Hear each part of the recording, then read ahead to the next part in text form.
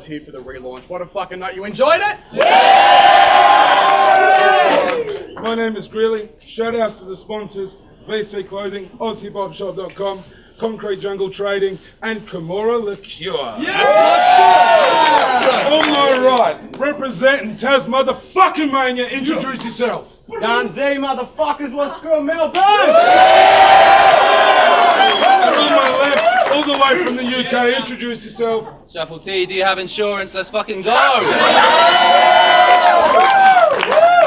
To flip. Shuffle's gonna go first. It's on you, bro. Alright? Yeah, I'm in from the UK! Thank fuck. Nah, you react to me. Could have gone enthusiastically, have just fucking booed me massively. I'm in from the UK. Let me tell you something. That was a long, protracted flight. I read War and Peace in Latin, backwards, twice. You don't know the shit I went through to battle you. Halfway into the flight, we ran out of packaged food. but I maintain we did what we had to do when we ate that member of the cabin crew. Halfway into eating his legs, a woman from the back came through like, I found some extra sandwich. Ooh.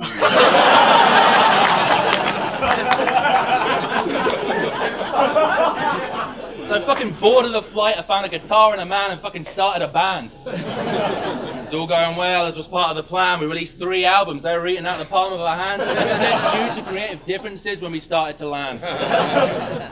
Bored of the flight as soon as I fucking boarded the flight. Even turned around to fucking talk to a guy. I said, How you doing? He said, Well, I turned 40 tonight. I said, Congrats. He said, I was fucking born on this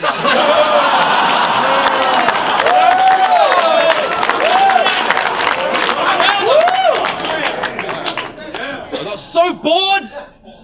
Watch one of your battles. The fucking Disney sing song. That was the point I shot the pilot like filming a new sitcom.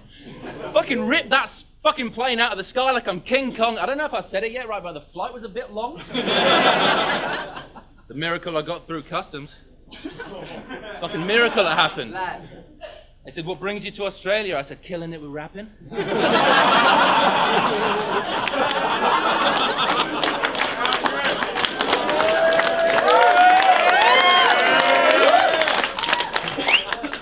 How long do you plan your stay? I said, Till I'm finished snapping. Under occupation, I wrote I was a lyrical assassin.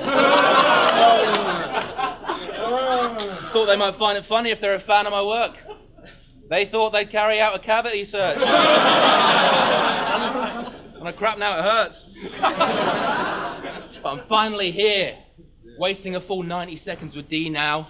Probably feels to you kind of like I'm wrenching your teeth out, talking about how long it took to fly, collect, and bring me down because I couldn't think of enough shit for you to try and stretch it to three rounds.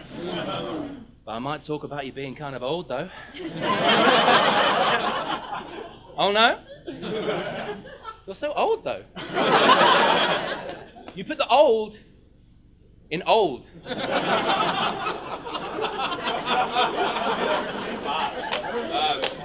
What I call the o- what I call the olden days, you call the golden age. Honestly, man, you're actually double my age. I mean, obviously you're not, but after 40, who cares? It's exactly fucking the same. I won't say you're old enough to be my dad, because that's changing the facts. But you are old enough to be a mate of my dad's. You could go round to a dinner date at their pad, and I'd be like, yeah, that's fine, nothing strange about that.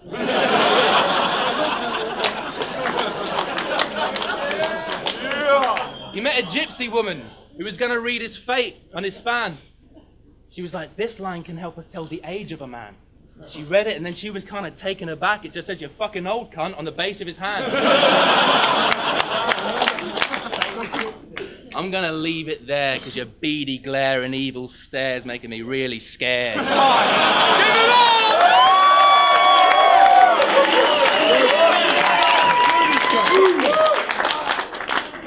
So oh, I put the fucking old into old.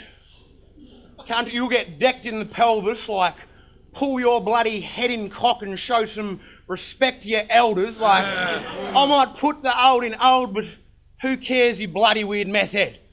Clan's battle to was like 60. So I've still got a couple years left yet. so, here he is.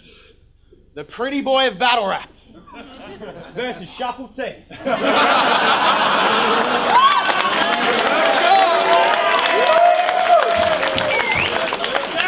You think you think you're the real pretty boy of battle rap? Bro, in your fucking dreams. Why don't you have another geese? Can I'm such an utter beast that once I leave the stage tonight, the females will all flood to me. Them sluts will be a hundred deep just begging for my company. So when you go home alone to your hotel and beat your fucking meat, that'll be the only time tonight that you'll be touching. Oh. I am the true pretty boy of Ballarat. you just bit my style, you thieving cockhead.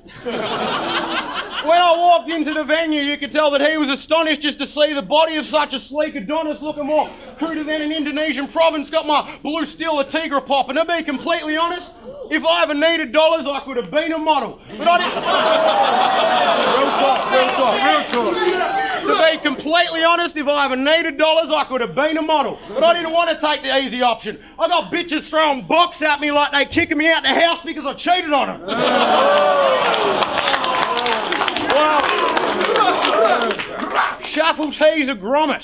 hey, know why you don't need to wear a franger with the horse he has sex with? Because his dress sense alone is a form of protection. and I only call into question all the investments because with the wardrobe you're dressed in, I'm sort of suspecting that you have a more than extensive fedora collection.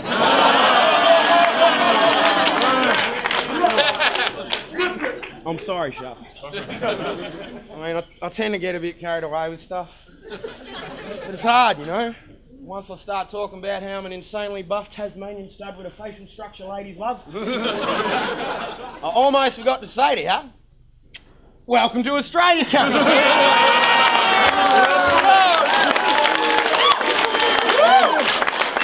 I'm sure you've probably heard a couple stories about our nation, bruv. You're up against a whole heap of gnarly shits and no one can guarantee your safety, cuz. Right, I guess you laugh in the face of danger, huh? Well, it's almost like you've tried to put yourself in the worst possible situation, but because between the bipolar Melbourne weather and the cancer-causing rays of sun, the array of rough and shady pubs, the roaming packs of crazy drunks, the racist, munted, wasted thugs, hmm. sharks and spiders, snakes and buds, hmm. plus now you're face to face with so it's pretty safe to say you're fucked. Hmm.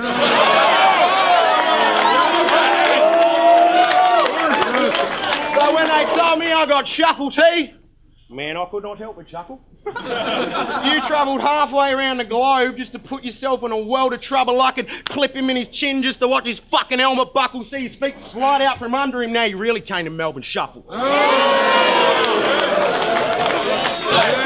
I know, I know, I tell all of my opponents, I'll punch them.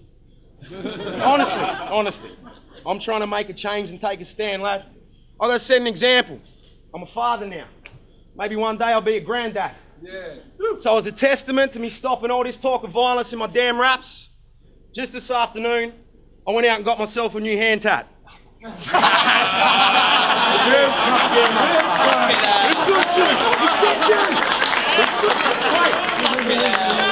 Hey, and if you think I only punched him in the arm because I can, just to put it over the cunt, well then you can't understand. It's that circle game shit. And that's all part of the plan. I've got this motherfucking round in the palm of my hand.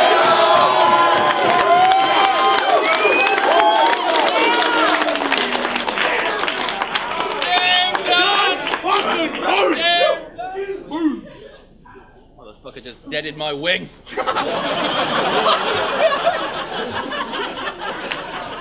Just let the guy win. He's fucking terrifying.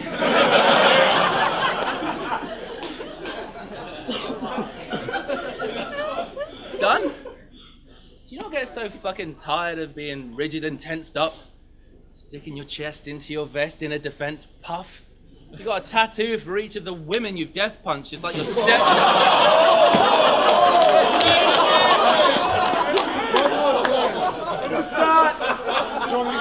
You got, a, you a tattoo for each of the women you've death punched. It's like your steroids are on steroids. It's pretty intense stuff. of course you get reaction in Oz.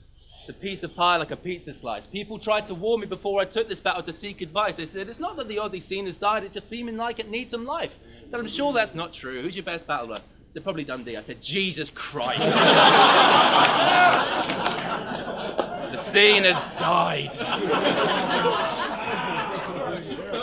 It's about that shit in the UK. The audience wouldn't sound so wild. Because Dunn's 10 years behind, we grew out those styles. We wouldn't even save your battle to the download file. You would spit your best round and the crowd goes mild. but that's not the only reason I'm glad that I'm from England. Huh? Sorry. That's not the. I don't know I wanted to hear this guy. That's not the only reason I'm glad that I'm from England. Because English people aren't constantly threatened by wildlife, that's going to kill them. Saying, if you win, I don't cry as my bloody eyes in sorrow. I'm just satisfied with being the least likely to fucking die tomorrow. like you go out drinking with the boys on a late night, you're rowdy as fuck, your voices are raised high, you put your foot down on the field because the soil's a safe site, and then boom, right there, poisonous snake bite. or you're just in your house. You expect that you're safe. You've checked and surveyed and inspected the place. There's no sign of any fucking venomous snakes. Then, oh no, spider bite, dead in a day.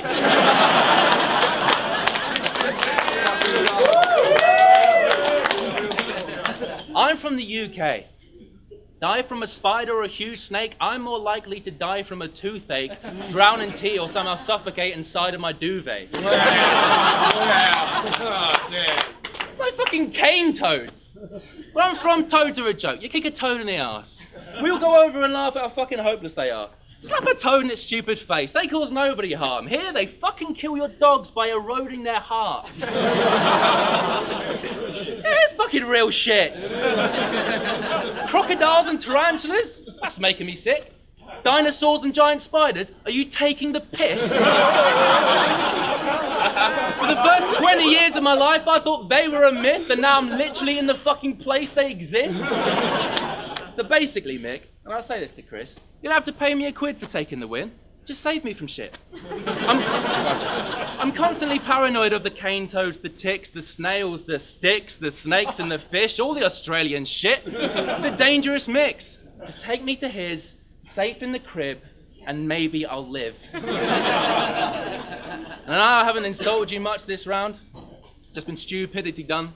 And you're probably thinking if you diss me, then you've instantly won. I assure you, all of this is just a cute Englishman stunt, and though I haven't said it enough yet, I do think you're a cunt.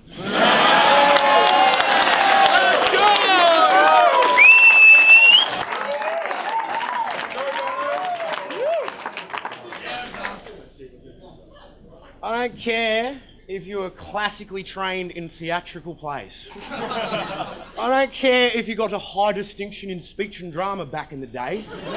I don't care if your talent was naturally made for the cabaret game and you get a standing ovation when you do Hamlet on stage. Because I guess you're a chameleon of battle rapping away.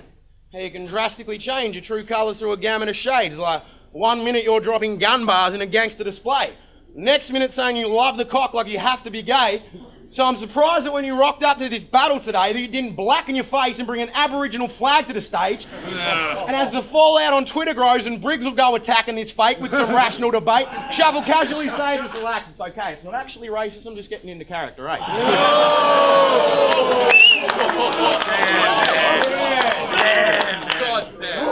Come round here, coming round here, mate. Fuck the Earl Grey tea you sipping cups and the warm beer that you drink in pubs. Stop being a whinging bloody prick for once and shut the fuck up about the cricket, bruv. Because if there's two things in this world that absolutely shit me shuff, it's people are intolerant of other people's cultures and bloody English cunts.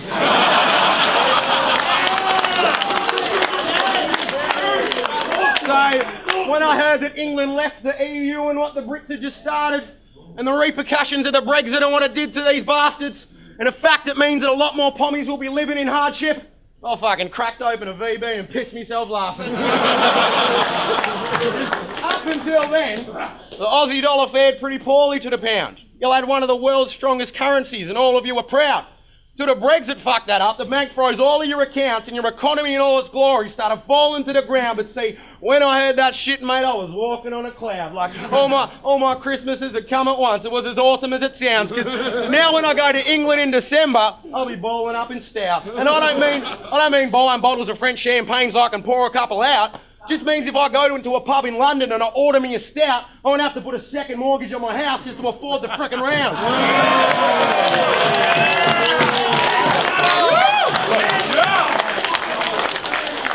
I don't hate all English cunts.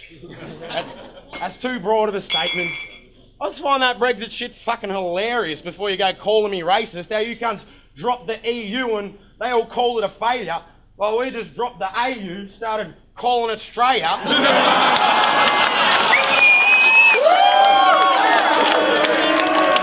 plus, plus, if Tassie ever got told to fuck off by our Victorian neighbours, shit, we'd bring boatloads of inbred bogans to your shores and invade you. so, so the next time Shuffle flies in in Melbourne Airport, he'll be sure to embrace it when he sees a big sign that says, Welcome to far northern Tasmania.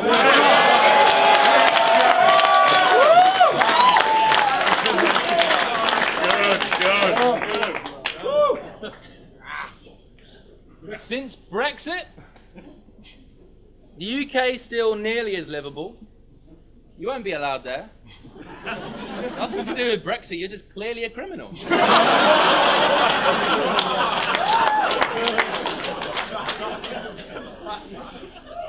now, I heard it was winter in Australia. So I started packing some sweaters, a coat made out of Italian leather, and an umbrella to make sure I wasn't caught out by the lack of good weather. then I remembered I'm from fucking England. Turns out I'm not the most practical dresser. I've been sweating like Rolf Harris standing together with an under 13 year old family member.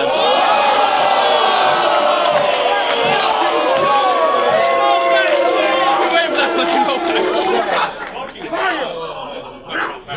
Sweating like Steve Irwin in a deep water animal centre. to battle Dunn D. It is. to battle Dunn D. A man who makes Iggy Azalea look like a national treasure. And that's done spelled D with a capital letter. Because what, you 38 or something? You've been rapping forever. You've been going for like 20 years and you haven't got better. What do you think life begins at 40 applies to your rapping endeavors? Think your career is just gonna suddenly fucking magic together? 50 isn't the age of Amp Top's average member. So you're not, so you're not gonna be able to handle the pressure and you can mark my words like a language professor. I'm like a lion and fucking Jesus got sandwiched together. You're like a shit rapper and an even shitter rapper got mashed in a blender. We're about to see him collapse in the center. It'll be like watching Michael J. Fox practicing Jenga.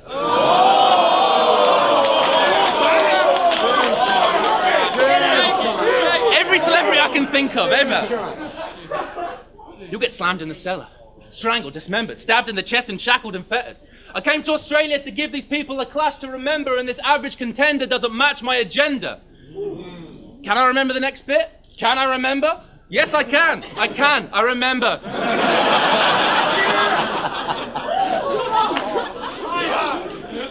I'd let you off with a warning like a traffic inspector. But you got a head I want to take off, and I'm an avid collector. I'd let you go back to your crackling embers unless you try to bite the hand that feeds you like Hannibal Lecter. And by the way, Dunn D, least original name for an Aussie battler ever. you definitely need to get better to me. The letter's a D because getting a D is the cleverest he could ever achieve. It beggars belief. So unintelligent he finds picture books too high a level to read. His wife comes home and sees him watching Sesame Street, but it's not for his daughter. She's in bed and asleep. He's just trying to get to grips with his alphabet in the week and keeps on getting fucking stuck at LMNOP.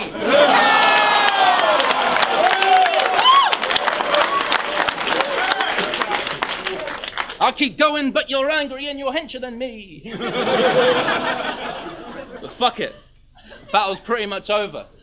So tomorrow afternoon, me and you go get a barbecue. Hang out with a fucking Cascagoon. I'll buy you a fucking lager too without you even me asking to. sort of fucking. I thought. I thought Foster's was popular out here and everyone drinks it, but you hardly do. I'll come back to fucking Australia in a couple years, go to Taz and then Darwin too, and we can cuddle up like koalas do. I'll let you blow my didgeridoo.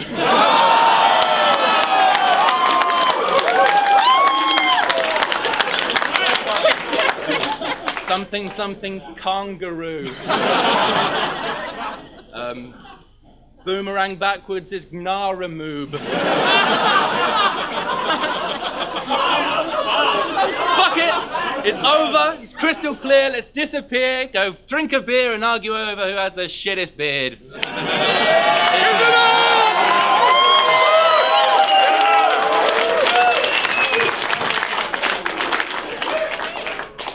Fucking lucky you weren't mean about my wife and daughter. or you can get punched in the jaw, and it ain't even me you got to worry about.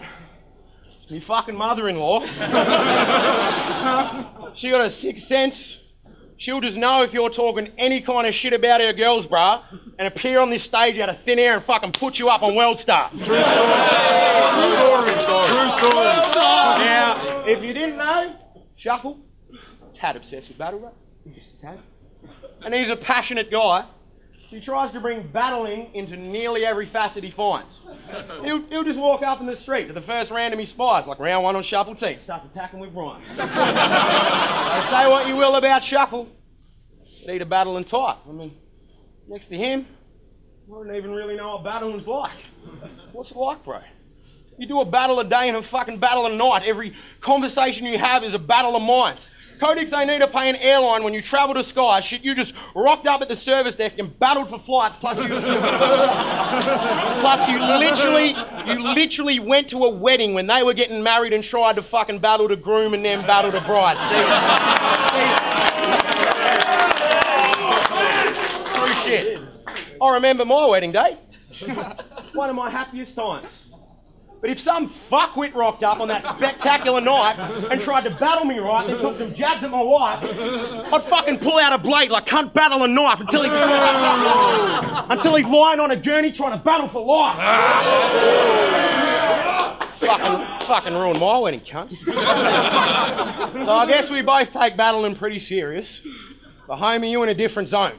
See, I get tatted up with my family's names and fallen soldiers in ink I chose, where you get tatted up with slow it downs, dizzes jokes, clips as quotes, and got a back piece of Hollow Da Don half naked in a suspicious pose. he, he probably answers with talk to him anytime someone calls this dickhead's phone. Ah. You got Don DeMarco's for your message sound and sprat for your ringing tone. I'm, I'm the type to rub one out to a big titted hoe that's getting boned. You the type to rub one out to a fucking video of Chilla Jones. You identify as barsexual.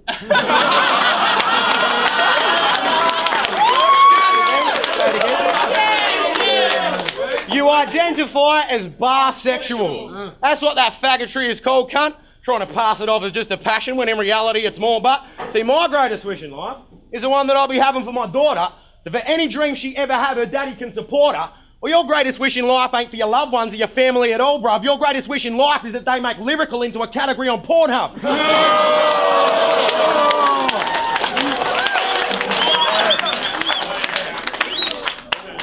you bloody wordplay finger and muppet. if you saw me watching the Manners BK battle making some spastic faces, it's because I think their rap's amazing.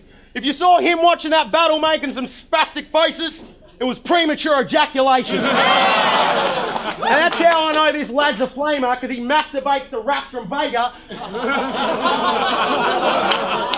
so I'm just giving you this battle as a massive favour, and you can chuck him in the wank bank for later. so I'm real glad you made the trek to this event, and you're here, Shuff. But saying you'll beat me is say, like saying we both have exceptional beards, bruv. I'm the fucking best up in here, some respect and a fear done. So respect where respect is due. Go, get me a beer, cunt.